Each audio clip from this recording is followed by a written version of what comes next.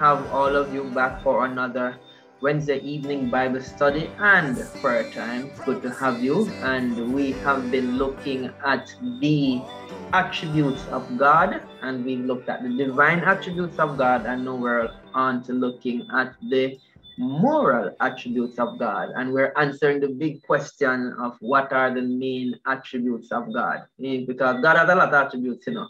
So we could have squeezed in more uh, uh, uh, and so forth, but I'm really trying to just keep it in the main. So we have looked at the moral attributes of God, and we've said that the moral attributes are are the attributes which which which which which make which depict God's personality. They are communicable, they are expressive, and they are um, attributes that have been passed on to us. It's just that God does them to perfection while we are able to demonstrate some of what God um, has given to us. So we have looked at, at three attributes, moral attributes so far. We said that God is love. We said that God is holy. That was the first one, by the way. God is holy. And we said that God is love. Then we said that God is faithful. And I trust that looking at the moral attributes of God, the side, this side of God that, that speaks to his perfection, and uh, which he has and has given us, I trust that you are finding that God is really a personal God and a personable God, right? God is a person, by the way. He's a spirit person and spirit being. And so when he's when he's holy, he wants us to be holy. When he is love, he wants us to show love. When he's faithful, he wants us to be faithful. So you're realizing that God sets the standard he is the standard bearer of all these attributes, and he wants us to do the same. But the other aspect of it, as you go through it, as we go through it, is to is, is to realize that God, um, God, God wants to be related to. You know, we should relate to God, and He has made it possible for us to relate to Him by giving us these personality traits. And so be faithful, be holy, love God, love people, you know. And so today we're going to get into some more attributes of God. I have at least three or four tonight, not saying that I'm going to rush getting through all of them, but we'll see where it takes us tonight. And so good to have all of you.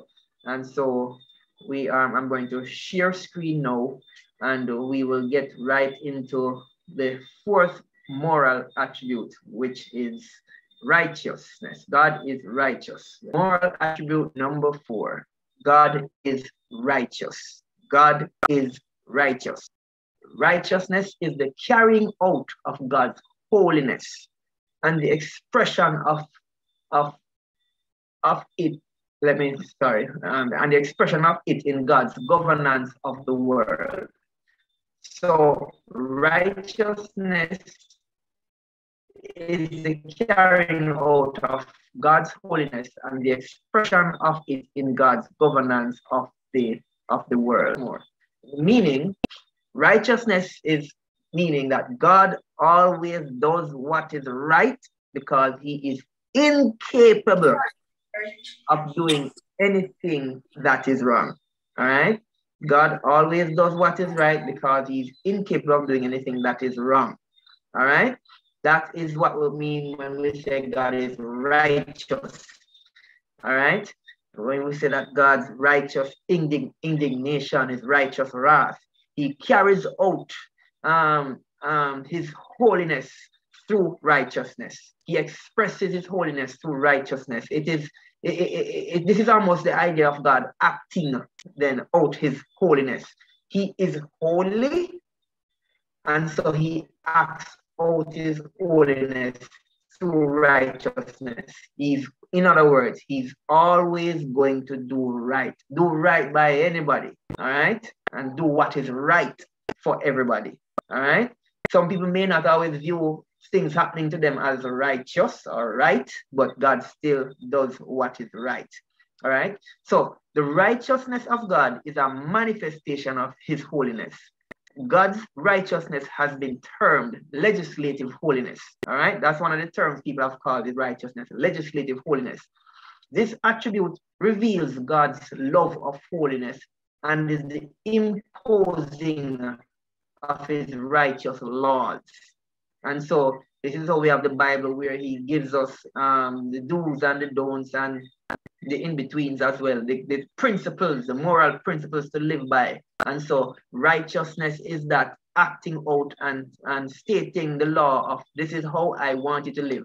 For instance, let's make a distinction. When he says, Be holy, for I am holy, yes, that is indeed a commandment to be holy. But then righteousness now is that idea of he's going to get into what we call principles and guidelines of, of how to live holy. And so he would say something like, in the act of righteousness, be holy for I am holy. And in living right, here's, here's something that you need to do. You need to have pure thoughts, or you need to, you know, um, you know, forgive and so forth. Righteousness, that's righteousness. All right. So God is righteous. All right. So we're going to look now at some of the verses that encompass God's righteousness. Now, let me just say this. You've been seeing a number of verses, and I'm just also saying this that there are many verses that speaks to God's attributes, by the way.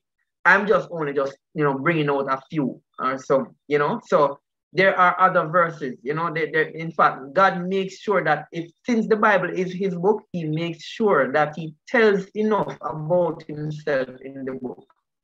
So these are just samples, you know, examples of verses that speak to his righteousness and his holiness and so forth. But there are many verses you could find. It's splattered all over the Bible, Old and New Testament, of his attributes in verses. So when I pick some, some some of them, yeah, I pick out some, some of the potent verses, while others are just what you call um, affirmations of his attributes. So as usual, I'm going to ask for some help.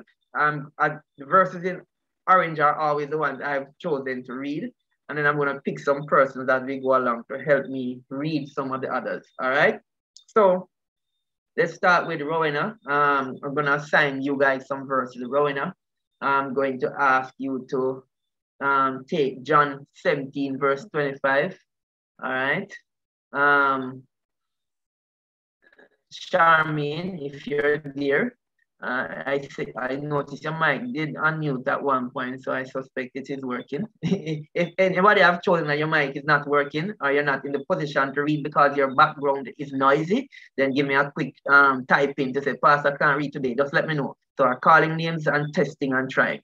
So Rowena, John 17, 25, Charmaine, Psalm 11, verse 7, and skip to 45 verse 7. So Charmaine, you have those two verses there, Psalms 11 verse 7 and 45 verse 7. So that Psalm 119 verse 137. And let me see who is around there. All right, Sister Noreen, um, Psalm 145 verse 17. Psalm 145 verse 17. So I trust that all of you have received your assigned verses, and I'll come down the line a little more with some and involve some others as we go along. So I will start with mine that I have right here, Daniel 9, verse 7. And in this passage before us, this was Daniel chapter 9 is a passage where Daniel was praying to God. And a lot of things happened in that prayer. One of those prayers that a lot of dramatics took place. Uh, and, and he was at the place though where he was also praying for himself and his and the nation of Israel and really confessing their faults and sinfulness to God. But he was highlighting God's righteousness while he did that. So the idea is in contrast to sinfulness, he highlights God's righteousness. So Daniel 9 and verse 7 says, O Lord, righteousness belongeth unto thee, but unto us confusion of faces, as at this day to the men of Judah and to the inhabitants of Jerusalem and, and unto all Israel that are near and that are far off, through all the countries whither thou hast driven them, because of their trespass that they have trespassed against thee. And so he's comparing God's righteousness to our sinfulness and hit their sinfulness and say, God, you, you are alone righteous. In other words, what Daniel is saying in verse 7, you know, God, are you alone righteous? Because the rest of we, we have fallen short, man. We, we are sinful being, and you alone righteousness belong to. You are the epitome of righteousness. Skip to verse 14 and uh, into 16. It says, Therefore hath the Lord watched upon the evil and brought it upon us. For the Lord our God is righteous in all his works which he doeth, for we, we obeyed not his voice. We were disobedient, and it is because you are righteous that you have allowed us to be punished and judged. It, it is because of God's righteousness. Him now go stay there and just make me just go on, go on and, and just misbehave and so forth. It is because you're righteous. You have watched the evil, you've seen it, and then your righteousness is going to make you act on it. Verse 15. And know, O Lord, our God, that hast brought thy people forth out of the land of Egypt with a mighty hand and has gotten the renown, re, the renowned, meaning he has, you know, gotten his, his name has gone out and people understand that he is the God who rescued them from Egypt. As at this day, we have sinned, we have done wickedly. Verse 16 is where I stop. O Lord, according to all thy righteousness, I beseech thee, let thine anger and thy fury be turned away from thy city Jerusalem thy holy mountain, because for our sins and for their in, the iniquities of our fathers, Jerusalem and thy people are become a reproach to all that are about us. His righteousness is in total contrast to our sinfulness. All right, Rowena, John 17, verse 25. O righteous Father, the world has not known thee, but I have known thee, and these have known that thou hast sent me. That's that's Jesus Christ himself, you know, praying another prayer, and Jesus is calling his Father righteous. Psalm 11, verse 7 and 45, verse 7, Charmaine. Psalms 11, verse 7. For the righteous Lord loveth righteousness, his countenance doth behold the upright. 45 verse 7 Thou lovest righteousness and hatest wickedness. Therefore, God, thy God, hath anointed thee with the oil of gladness above thy fellows.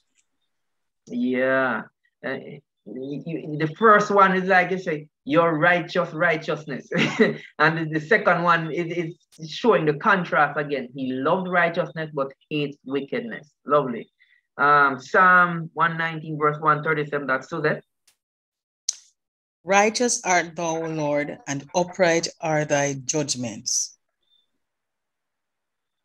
All right, very good. Thanks. Psalm 145, verse 17. I think that's Mrs. Moran. The Lord is righteous in all his ways and holy in all his works. Uh, righteous in all his ways and holy in all his works. And there are many more scriptures. God is righteous, my friends. Moral attributes of God. God is righteous. All right.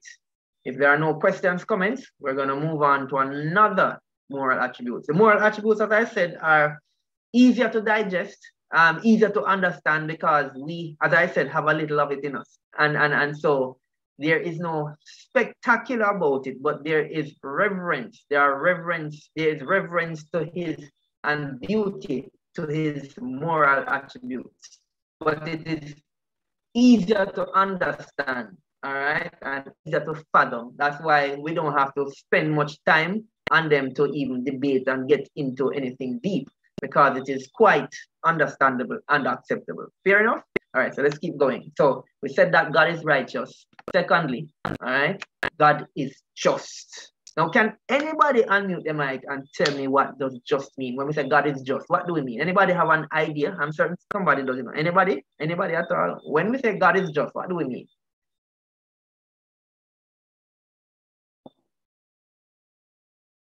J-U-S-T. God is just. Still waiting. No feedback. God is just. You know what happens sometimes? yes, who is it? Go ahead. Fear. Fear. Give, give me some more. Give me some more. Get what with me. Describe it in the realm of who God is, though. When you say fear, what do you mean? God is just. Uh-huh. Honest, upright, Oh, honest, upright. Uh, oh, fear, that kind of fear. Okay. yeah, yeah, but you, know, we don't know why they must make English so hard. I get you know, that kind of fear. I was Yes. thinking, oh, I must be the only one who did so slow. Not true. Everybody say, oh, Pastor, I get it. Sorry. maybe just think F-E-A. F-E-A-R. but I get you know. Yes, F-A-I-R. Yes, yes, yes, yes, yes. You had us at fear. Yes. and the Okay. wrong fear we did have. So yes, fear, honest, yeah, upright. Yes, yes, yes. I think that was Beulah. So indeed, yes, Beulah, if it was you, or whoever it was, indeed, yes, yes, you hit the nail on the head with the fear. You had me at hello. All right, so God is just, he is fear. All right, so let, let's, let, let's get a working definition of it. The justice of God is that attribute whereby he cannot look upon sin nor tolerate wickedness. All right, as what one of the words that was used earlier too was upright. So his fear, he's upright. So the justice of God is that attribute whereby he cannot look upon sin nor tolerate wickedness. Justice is the execution of righteousness and has been termed judicial holiness. Righteousness was termed legislative holiness, where he lays down the law in righteousness and says, This is how you must live. But the justice now and the just be God being just, it's judicial holiness. This is where God is going to take action against sinfulness and sinful people. And notice I said it almost like in the future tense to going to. And he has done in the past, he is doing it now, but he has more action to take in the future. And the, the futuristic, the future tense of the just, God's justice, is what some people get impatient on. The idea of God, God going to, because if you read this first sentence, he cannot look upon sin or tolerate wickedness. I know that some people already start to have the antenna and ready to even ask the question. Then why why is there so much wickedness on the earth since him cannot tolerate it? Or why am I wait? That you know, he, him seem pretty tolerant to me, you know. So so some people, you know, would say, you know, boy, you know, is he really just there? Of he's just. But you remember that there's another side to him. And that's why, you know, we're almost answering one of the other questions that we will look at another time. But that's why this is how you're going to help to answer some questions like why do good things happen to bad people and why do um it seem like sometimes bad people not get them good and when them deserve. You, you have to remember that there's a God who has um attributes. And so the- wi- without going too far ahead, I just have to bring this in in order to balance it. So sometimes when people are asking, why is God tolerating wickedness when the definition of, of, of justice that he doesn't tolerate it? Why is he so why is he dragging his feet so much? You just remind him that there's another side to God. There are other attributes of God. He's merciful, he's gracious.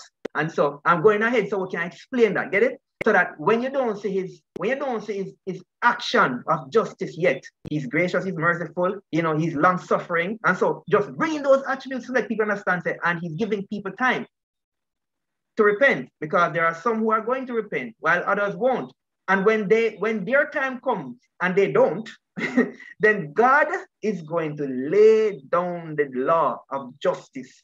And so, you know, you balance the thing.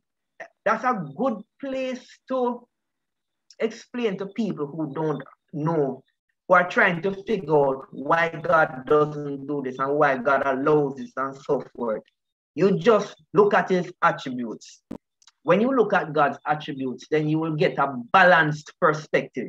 So us as believers, we have to get this in our head first, and we have to get in our heart first, because if we don't get this and understand this, we might have a difficulty explaining this.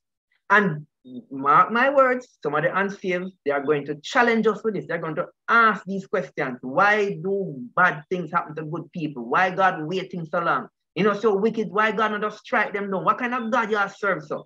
Some of you, if you witness or you evangelize some people, some of the unsaved in particular who are antagonistic to Christianity are going to ask those questions.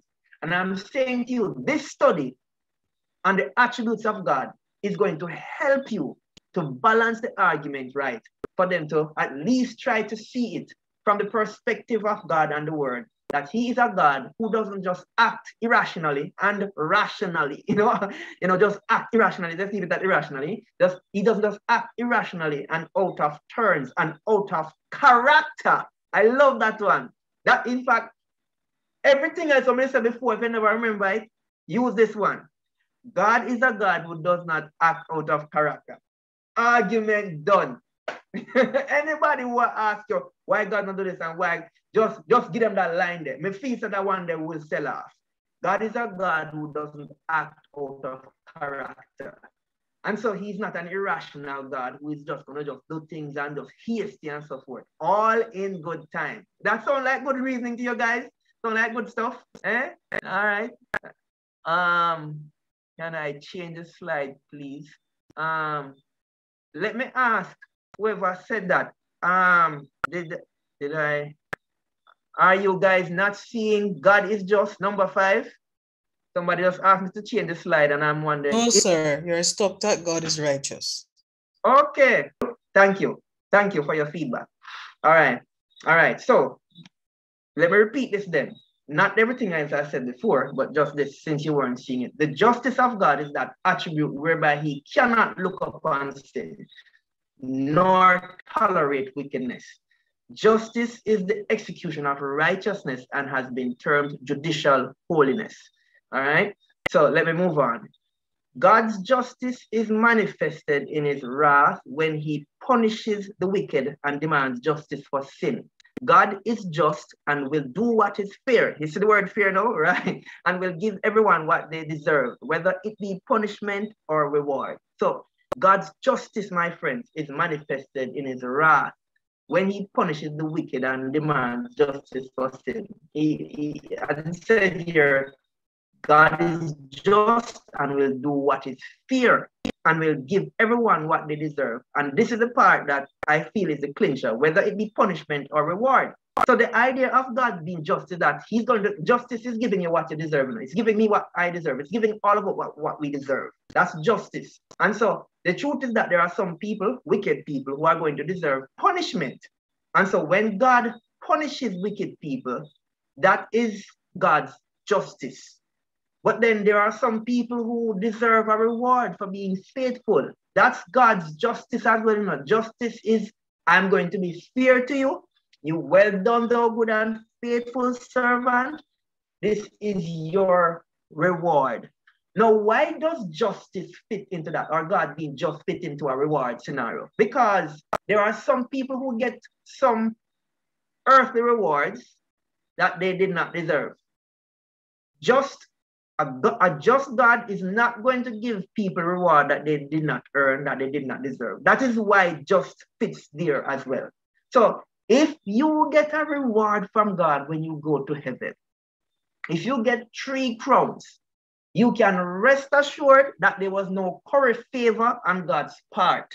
That's why, you know, so there's no curry favor on God's part. You got it because you earned it. God was fair. He was watching you all along. You know, there's nobody that can say, why Omar get, get all a three crown? Why Pastor Man get all a five crown? Why that person get one? And so forth. You know, you know, nobody's there that they can contest God and to say, ah, because, ah, oh, because you're pastor, why you get so much? You know, God, uh, you know, God biased, you know. Nobody can say that God is biased and so forth, even when it comes down to the reward system. Surely there might not be any debate when it comes down to the wicked. when they get punished, Nobody now going to debate that one day. But I know there won't be any debate in heaven either. But I'm saying that you know, on an earthly basis and earthly thinking, there are some people sometimes they will reward some people, and sometimes some people really never deserve it. But when it comes down to a just God, He is going to be fair in all his dealings. And the fairest way to deal with human beings is to give us exactly what we deserve. Exactly what we earned is exactly what we get. Exactly what we did are the consequences of our actions. Fear, you can't get no fear than that. So God is just. All right, my friends? All right. Scriptures. I will take the one in orange as per usual, Psalm 97, verse 1 to 6. And uh, I'm going to ask a few more people. Omar, I know you are there. So Omar, I'm going to ask you to take Deuteronomy 32, verse 3 to 4. Deuteronomy 32, verse 3 to 4. Omar, Beulah, I know you are there. So I'm going to ask you to take Zephaniah 3, verse 5. That's 3, verse 5, Beulah. All right. Oh, yes, Shawnette. I don't know who you are, Shawnette. I know it's you, BC. so Shawnette would take Psalm 89, verse 13 to 14. Shawnette, Psalm 89, verse 13 to 14. All right. And um, I wonder if Sister Grace can take one for me because some of these are not seeing any names. Sister Grace, can you take Revelation 15, verse 3 to 4? I have to make sure I confirm this. Certainly, Sister sir. Grace?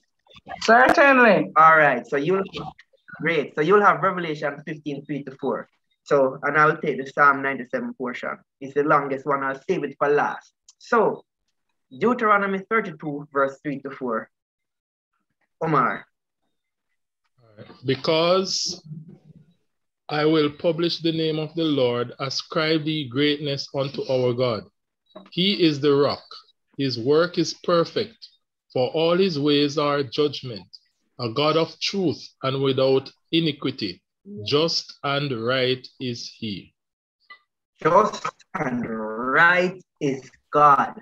And by the way, if you if you do any studies at all, you, you will sometimes that word just or justice is used interchangeably with judgment, by the way. And I've always said it, that judgment is not always a bad thing. So sometimes the Hebrew word that is shared for justice is the same word that is shared for judgment in English. All right? All right. Zephaniah 3, verse 5. I think that should be Beulah. Yes, sir. Mm -hmm. Just Lord is in the midst thereof. He will not do iniquity. Every morning doth he bring his judgment to light. He yes. faileth not, but the unjust know it no shame. Yeah, yeah, the just Lord is gonna do right by you. Him not do iniquity, him not, him not unfair, him not biased, him not curry favor. He's gonna do right. And him gonna also see, see sin and deal with sin. One day, if not now on our timetable, one day for certain. All right. Um, Psalm 89, verse 13 to 14. I forget who did I sign after that. Sorry. Uh, oh, Shawnette. That should be Shawnette. Yes. yes. Psalm 89, 13. Thou hast a mighty arm, strong is thy hand, and high is thy right hand. Justice and judgment, just, justice and judgment are, are the habitation of thy throne. Mercy and truth shall go before thy face. All right. Thank you so much. All right. I'm going to hit Psalm after Revelation. So, um, Grace, Sister Grace, Revelation 15, verse 3 and 4. Okay. Revelation 15, 3 and 4? Yes, yes. And they sing the song of Moses, the servant of God, and the song of the Lamb sing. Great and marvelous are thy works, Lord God Almighty. Just and true are thy ways, thou King of saints. Who shall fear thee, O Lord, and glorify thy name? For thou only art holy. For all nations shall come and worship before thee, for thy judgments are made manifest. Right, right. And as I said, sometimes that word judgment here is used interchangeably with the word justice, English, but it's the same Hebrew word they share, where you're going to see that word judgment there to be used interchanged with the word justice at the same time. So Psalm 97, verse 1 to 6, these verses say, The Lord reigneth. Let the earth rejoice. Let the multitude of eyes be glad thereof. Clouds and darkness are round about him. Righteousness and judgment are the habitation of his throne. That word judgment there, righteousness and judgment, that's the same word for justice that is used in the Hebrew. Somebody has another translation. Your translation might very well say righteousness and justice. It is not wrong. So you might say, but oh, my translation says justice and this says judgment. It is the same Hebrew word. All right. Clouds and darkness are round about him. Righteousness and judgment or justice are the habitation of his throne. So his entire throne, he's clothed and enclosed with righteousness and justice. That's who God is. A fire goeth before him and burneth up his enemies round about. So, so, so, so we don't have to fret about what is going to happen to our enemies and what is going to happen to the wicked. One day, God is going to just, you know, just rain down his justice upon them. His lightnings, God's lightnings, enlightened the world. The earth saw and trembled. The hills melted like wax at the presence of the Lord, at the presence of the Lord of the whole earth. Verse 6 is where I stop. The heavens declare his righteousness, and all the people see his glory. Our God is just. We talked about his righteousness, and now we talked about him being just. So he is just and he is righteous. All right. If there are no questions, comments, we're going to keep going and we will look now at God is good. God is good. So we talk about God being righteous and God being just. No, God is good. And, you know, and all the church say God is good all the time. Finish it for me. And all the time. Yes, and all the time God all is the good. time God is good. Very good. We want to make sure something keep awakening. God is good all the time, and all the time God is good. We say that phrase a lot. We, we you know, we from ever since that phrase was birthed into the churches, what, what, over long ago, maybe 10, 10 years ago, a decade ago, I don't know how long it has been around.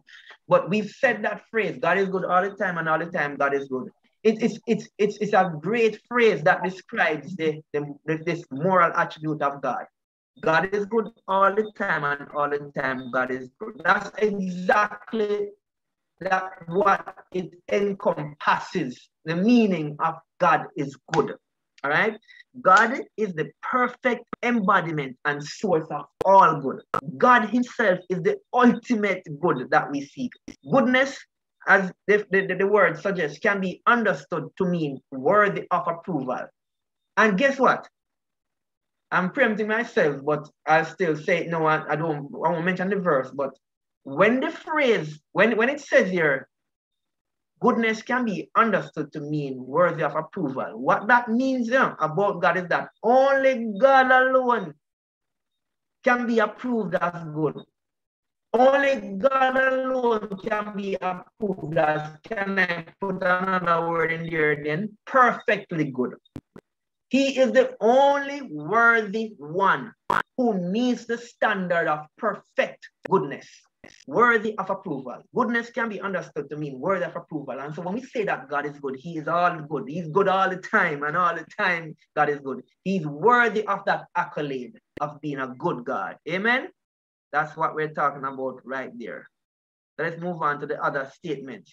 So, the goodness of God refers to his loving kindness. This attribute, and by the way, sometimes people spit with that one. Some people, you know, and you, said, you can go far and wide with these attributes. You can split them before you know it, you have about 20 attributes because you could split it to say loving kindness is also another attribute. Nothing wrong with that, you know. But it, it, that's why we're talking about the main attributes because out of some attributes, attributes, sorry, flow other attributes. So the goodness of God refers to his loving kindness. This attribute of God, which is goodness, manifests his care and concern for his creation but especially the believers. Because he's not just good to, is God, is God just good to the believers? Let me ask that question. Is God just good, only good to the believers? Is God only good to the believers? Somebody want to answer that one? Is Not God at all. Not at all. He lets the rain fall on the just and the unjust. And the unjust. Exactly. He's good. He's good to, because you see, sometimes can I be honest with you? You have a few Christians who believe that God, only them alone God good to you know. So in other words, if you if you want if you want if you want to um what's the word? If you want to um experience the word I was looking for, the goodness of God, well therefore it only happens to those who are his. No, he's good to his creation in general. You know, he's good, he's good to the animals, he's good, he's good to other human beings. And so, but he's especially good to the believers. Everything about God is good. All right? So let's look at some scriptures. So I will assign a few more people and I will take Luke 18, verse 19 as per usual. Let me see. All right, I know that Mr. Prout is there. So let me, I'm going to give Mr. Prout two verses. So Mr. Prout, I'm going to invite you to look up Second Chronicles 5, verse 13, and Second Chronicles 7, verse 3. That's the second set of verses right here. Second Chronicles 5, verse 13, and 7, verse 3. I think I saw Pat. Um, I'm not looking at some of the names anymore, so I hope I'm not wrong. If Pat is there, First Chronicles 16, verse 34. If Pat is there, I hope I'm not wrong. I hope. And then Angela, I think I saw Angela as well.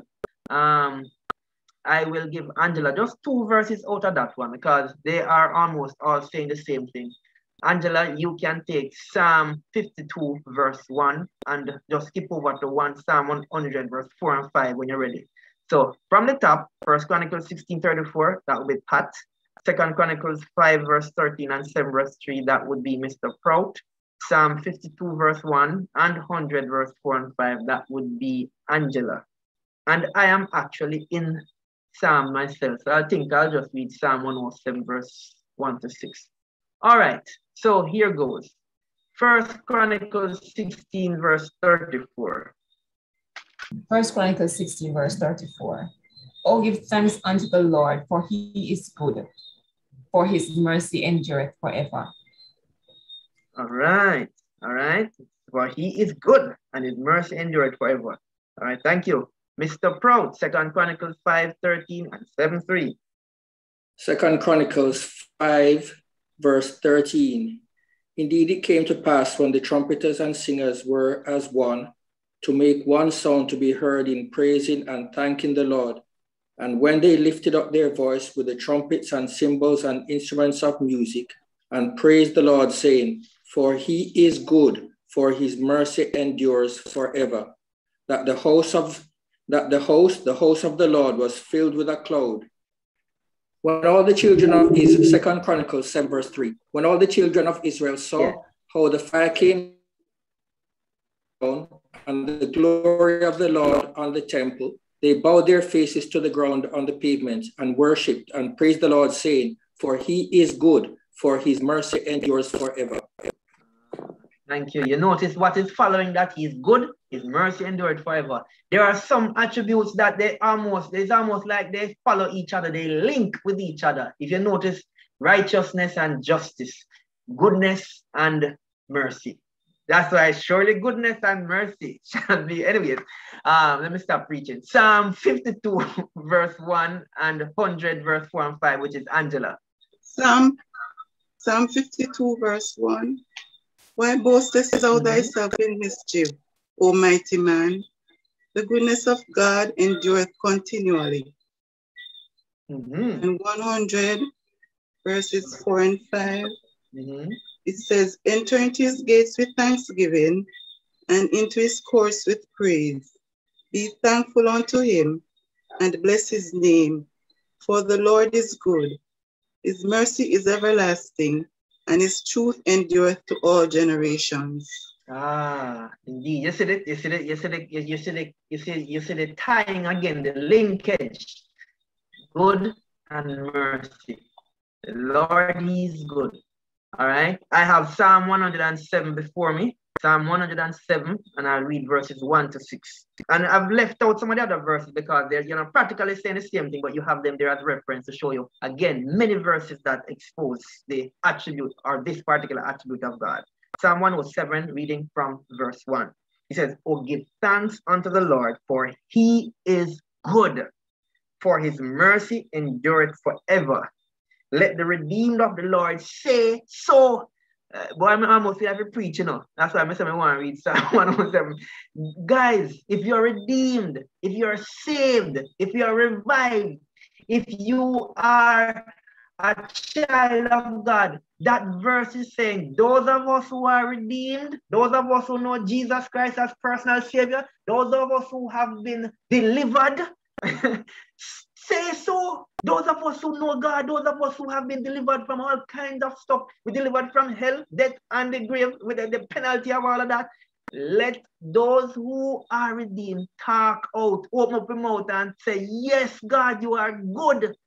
So let the redeemed of the Lord say so, whom he hath redeemed from the hand of the enemy and gathered them out of the lands from the east and from the west, from the north and from the south. They wandered in the wilderness in a solitary way. They found no city to dwell in. Hungry and thirsty, their souls fainted in them. Then they cried unto the Lord in their trouble, and he delivered them out of their distresses. And we could go on and on. It's showing how good God is. When they when they needed him the most, they cried out to him and he delivered them.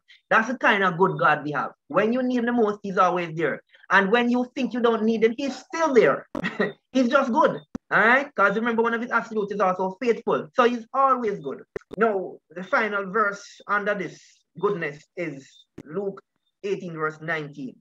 So Jesus was the one who stated this. And uh, he was approached by, I think it was a, a ruler or something. And he, yes, a certain ruler, verse 18. He was approached and he says, and a certain ruler asked him, Jesus, saying, Good master, what shall I do to inherit eternal life?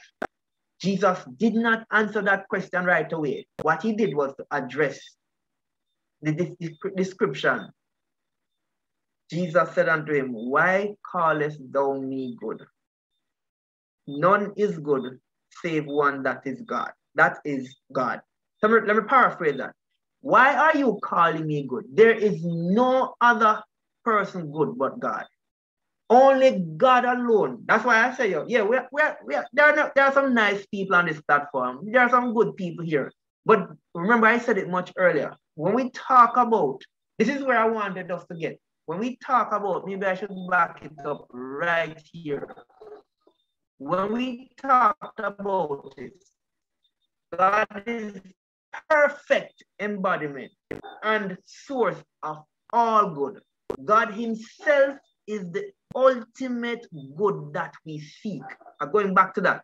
Goodness can be understood to mean worthy of approval. So when Jesus says, Why are you calling me good?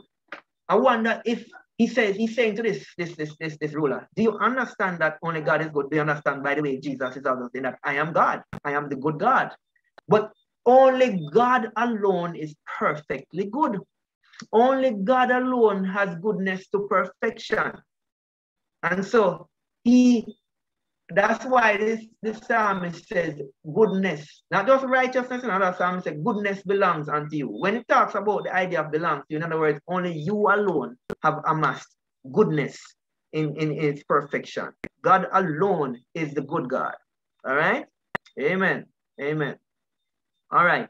Um, let me see. Yeah, I have two slides left. We can finish it up. Um, we could skip a few verses to finish it up too, because you guys getting this. Um, finally for tonight, God is merciful. You, and, and, and it's good to finish it up because that's one of the attributes that's been linked to his goodness. He's good and he's merciful. He's good, his mercy endured forever. You see a lot of those scriptures. This attribute of mercy emanates from the love of God. All right? It, it, it spreads from it. It, it, it, it, it, it derives from it, his love. Because God is love, he's merciful. So mercy emanates from the love of God. Mercy is the removal, I love this, or withholding of a just penalty. God's mercy is a holy, um, God's mercy is a holy mercy. I love this, which knows how to pardon sin but not protect sin. I love that. I don't know, I don't, I don't know if there's anybody else loving this. I like that statement. That is from a theologian. God's mercy is a holy mercy, which knows how to pardon sin, but not protect sin. Wow. You see, you see, and, and the reason why, the reason why that is there is because again, there are people who would say that at times God is too merciful. You know, how would God have mercy on a, a, a, a, a murdering, thieving, you know, and, and all kind of stuff, raping person and all those kind of stuff, who call on them and say, Lord, I am sorry, forgive me. How would God forgive these people and mercy? You see, He is a holy God. and his mercy is also holy. In other words, his mercy has to be perfect. So he knows how to pardon sin, but not, sorry, yes, pardon sin, but not protect sin. So he, you see, he can have mercy without condoning sin.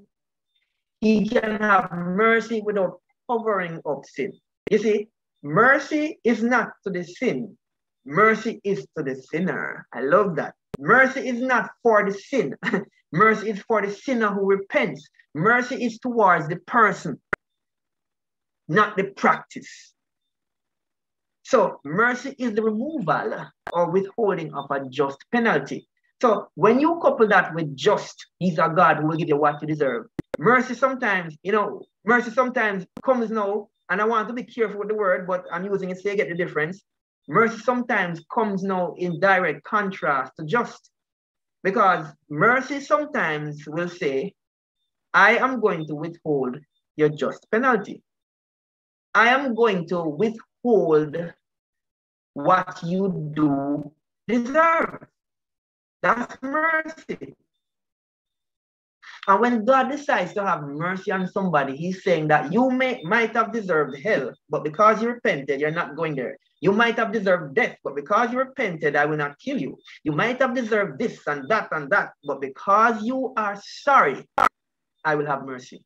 So I'm, I'm hoping that you guys are getting how to argue. I want don't want the word argue, but how to articulate is a better word. When people people ask you why God stays so, why God not just do this and why God not just do that, just remember these attributes, his character. I hope I'm hoping that is helping some of you to understand as well as answer some of these questions. Why doesn't God do certain things? Because in his mercy, he must respond to repentance. And then if repentance doesn't take place in his justice, he must punish sin. All right. So he is merciful. And I love this. I love this. You know, he's holy and he is, you know, merciful. All right. So let's look at a few um verses. Um, I'll just I'll just read Exodus 34. Well, I'm gonna find it fast. Exodus 34, verse 6, and then I'll skip to Psalm 103. Exodus 34, verse 6 says, And the Lord passed before him and proclaimed, The Lord, that is Moses, the Lord passed before Moses and proclaimed. The Lord has proclaimed this by the way. Know. The Lord, you, God is only God alone can do them something. You know. God is passing before Moses and then talking about himself in this way. In other words, God is passing Moses and declaring this about himself. Only God alone can do that, you know. the, the, he says, the Lord, the Lord God, merciful and gracious, long suffering and abundant in goodness and truth, keeping mercy for thousands, forgiving iniquity and transgression and sin, and that and that will by no means clear the guilty. Ah, you see the balance there? I want to read it again, you know. And you see the balance of his character coming out. So, so, so not because I'm merciful means I'm gonna make I'm gonna make sin, um, I'm gonna protect sin. So I'm gonna read it again.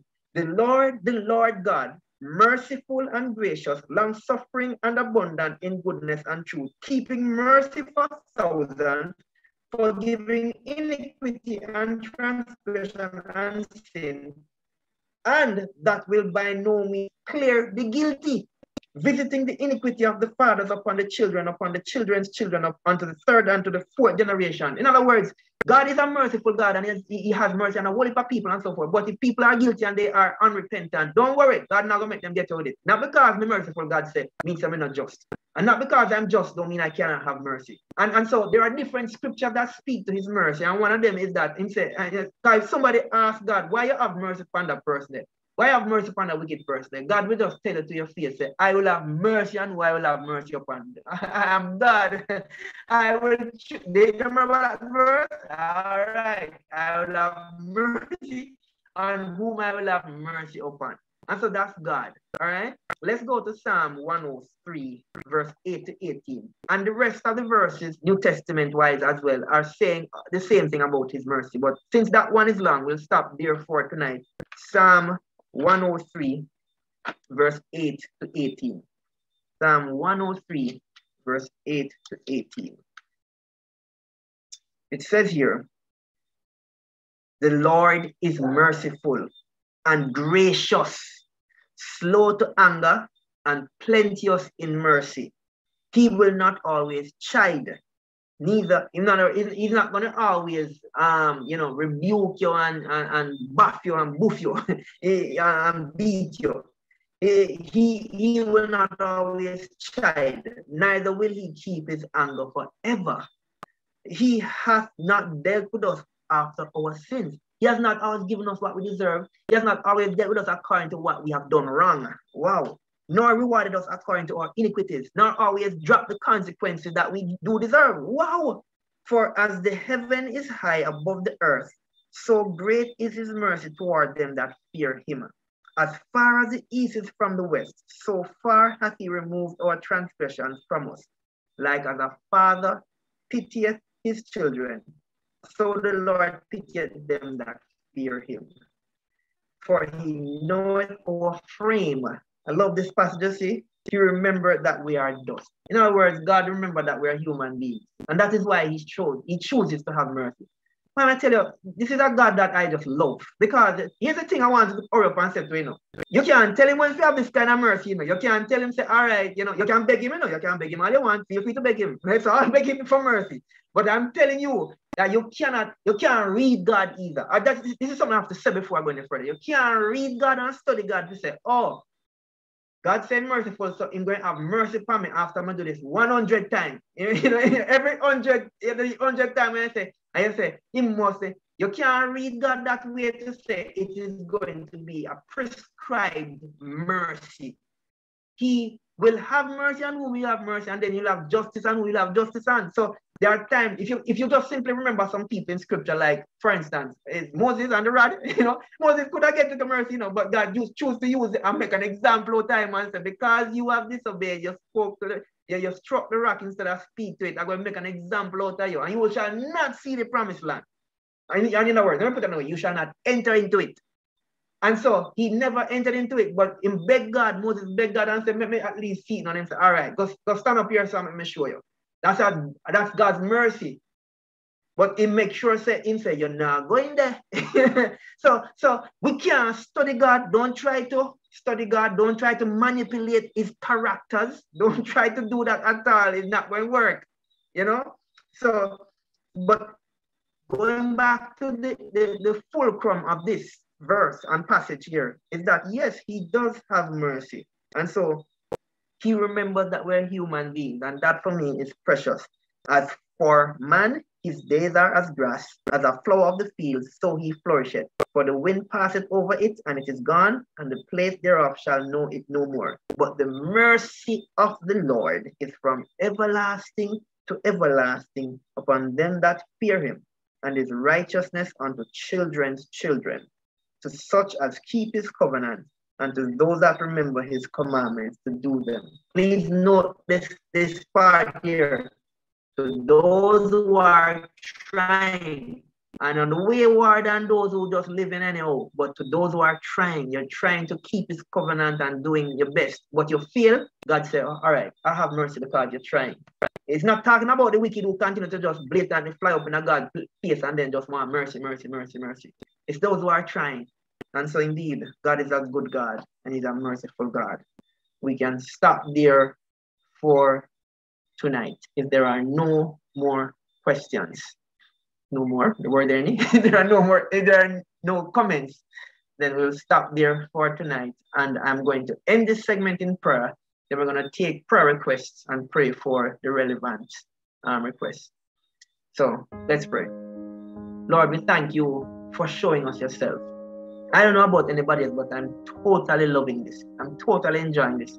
I'm totally filled up by this because exposing yourself to us in this way through your word reminds us of who you are and who the relationship we have in you. What a precious God you are. Thank you, God, for showing this to us, for reminding us of who you are if we had forgotten that you're merciful, you're good, you're just, you're faithful, you are righteous, you are holy, you are love. And God, we praise you and we honor you and we thank you. Lord, let us get to know you more because it is obvious that you are not a hard and wicked God, and you're not a far and apart God, You're very near, very close, and you're very personal. It's time for us to get to know you better. In Jesus' name I pray. Amen.